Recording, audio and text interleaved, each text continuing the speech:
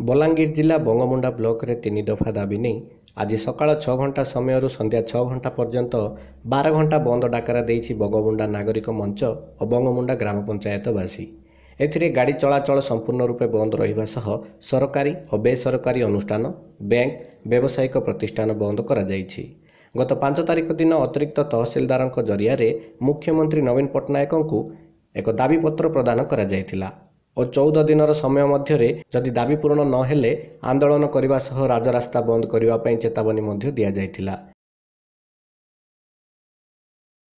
ଅଧ୍ୟକ୍ଷ ବଙ୍ଗମୁଣ୍ଡା ନାଗରିକ ମଞ୍ଚ ବଙ୍ଗମୁଣ୍ଡା। ଆଜି କାଁ ଥିଲେ ବନ୍ଦ କରୁଛନ୍ତି ଆମେ ଗତ ପାଞ୍ଚ ତାରିଖ ଦିନ ତହସିଲଦାର ଜରିଆରେ ଓଡ଼ିଶା ସରକାରକେ ତିନି ଦଫା ଦାବି ନେଇକରି ଆମେ ଗୋଟେ ଦାବିପତ୍ର ସରକାରକେ କରିଥିଲୁ ଯେ ଆମର ବଙ୍ଗମୁଣ୍ଡା ହସ୍ପିଟାଲକେ উন্নীত করি করে এরিয়া স্পটর করা যাও। বঙ্গমুন্ডা যে মুকুন্দ সাগর আছে তার পঙ্ক উদ্ধার করা যাও। আও আমার যে গ্রাম পঞ্চায়েত আছে তাকে এনএসি মান্যতা দিয়া যাও। আজি কাঙ্গাল বন্ধ করছ? আজি গাড়ি মোটর যা চলাচল বন্ধ করিছু দোকান বজার সম্পূর্ণ ভাবে বন্ধ করিছু। তারপরে সরকারি বেসরকারি যেতকি বি অনুষ্ঠান আছে অফিস মানে যেতকি বি আছে সমস্ত বন্ধ ডাকরা দিয়েছু। এটা নেই আগামী দিনে কানা করবে?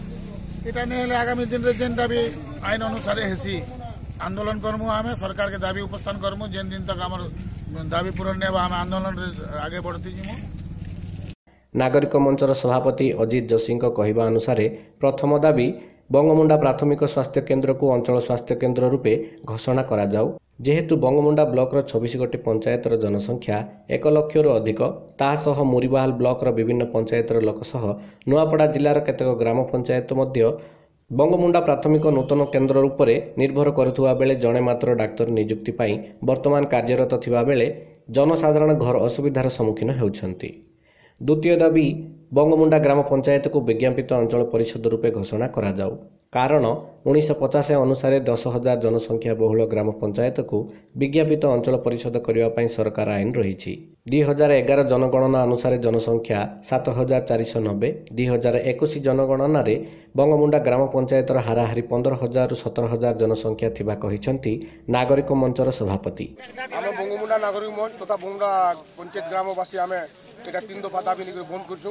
ଆମର ଦାବିର ଉଦ୍ଦେଶ୍ୟ ହେଲା ବଙ୍ଗମୁଣ୍ଡା ପ୍ରାଥମିକ ସ୍ୱାସ୍ଥ୍ୟ କେନ୍ଦ୍ରକୁ ଏରିଆ ହସ୍ପିଟାଲ ମାନ୍ୟତା ଦିଆଯାଉ ବଙ୍ଗମୁଣ୍ଡା ପଞ୍ଚାୟତକୁ ବିଜ୍ଞାପିତ ଅଞ୍ଚଳ କରାଯାଉ ବଙ୍ଗମୁଣ୍ଡା କିଆବନ୍ଦକୁ ଏ, ମୁକୁନ୍ଦ ସା- ମୁକୁନ୍ଦ ସାଗରକୁ ପୁନରୁଦ୍ଧାର କରାଯାଉ ସେଥିର୍ଲାଗି ଆଜି କାଣା କରୁଛନ୍ ଆମେ ବନ୍ଦ ଡାକରା ଦେଇଛୁ ଏଇଟା ଛଅରୁ ଛଅ ବା- ଛଅ ବାର ଘଣ୍ଟିଆ ବନ୍ଦ ଡାକରା ଦେଇଛୁ ଯାହାଫଳରେ କାଣା କାଣା ବନ୍ଦ ରଖିଛନ୍ କାଣା କରିବେ ଦୋକାନ ବଜାର ଗାଡ଼ି ମୋଟର ସବୁ ଚ- ସବୁ ବନ୍ଦ କରୁଛୁ ଆମେ ଅଫିସ ପତ୍ର ସବୁ ବନ୍ଦ କରୁଛୁ। କେନ୍ ରାସ୍ତା ଆପଣ ଅଫ୍ କରିଛନ୍ ବନ୍ଦ ଆମେ ଏଇଟା ବଙ୍ଗମୁଣ୍ଡାରୁ ଖଡ଼ିଆର ନୂଆପଡ଼ା ବଙ୍ଗମୁଣ୍ଡାରୁ ଏନ୍ଏଚ୍ ବଲାଙ୍ଗୀର ତକ ବଙ୍ଗମୁଣ୍ଡାରୁ ଟିଟଲାଗଡ଼ ଏନ୍ଏଚ୍ ବଙ୍ଗମୁଣ୍ଡାରୁ ସିନ୍ଦେକେଲାରୁ ଭାନିପାଟନା ରାସ୍ତା ଆମେ ସବୁ ଜାମ୍ କରୁଛୁ ଆପଣ ପନ୍ଦର ଦିନ ତଳେ ଗୋଟେ ତହସିଲଦାର କେଡେସନ୍ ତହସିଲ ଆପଣ ଗୋଟେ ଦାୟୀପତ୍ର ଦେଇଥିଲେ ଆପଣ ତାଙ୍କୁ ସମୟ ଦେଇଥିଲେ ପୁରା ପନ୍ଦର ଦିନ ଆଜି ଯଦି ଆପଣ ଆଜି ତ ବନ୍ଦ କଲେ ପଙ୍ଗଟା ନିହାତି ଭାବରେ ଆଗାମୀ ଆଉ କେତେ ଦିନ ଯଦି ଦାବି ପୂରଣ ହେଲେ ଆପଣ ଆଗେ କାଣା କରିବେ ଯଦି ଏହା ପନ୍ଦର ଦିନ ଆମେ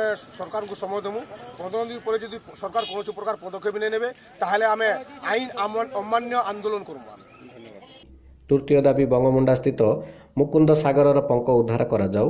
ବଙ୍ଗମୁଣ୍ଡା ଗ୍ରାମରେ ଥିବା ମୁକୁନ୍ଦ ସାଗରରେ ପାଣିକୁ ଦୈନିକ ଚାରି ହଜାରରୁ ପାଞ୍ଚ ହଜାର ଜନସାଧାରଣ ଦୈନନ୍ଦିନ ବ୍ୟବହାର କରୁଛନ୍ତି। କିନ୍ତୁ ଦୀର୍ଘ ଦିନରୁ ସେଠାରେ ପଟୁମାଟି ଜମା ହୋଇ ପଙ୍କ ଉଦ୍ଧାର ହୋଇପାରୁନାହିଁ ଯାହାଫଳରେ ପାଣି ବ୍ୟବହାର ଯୋଗ୍ୟ ହୋଇପାରୁନାହିଁ।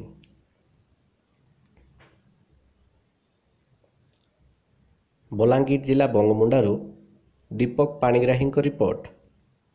ଉତ୍କଳ ଖବର।